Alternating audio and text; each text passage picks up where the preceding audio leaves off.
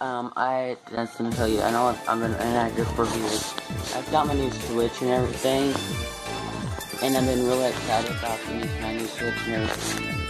And I haven't been like doing any videos lately. My, uh, I've been busy. I'm on up some shit I've been. So that's why I've been acting active for a long time. Today might I might have a new video out. I don't know if the will be out, but I don't know if another one will be out. So yeah, I just wanted to remind you guys.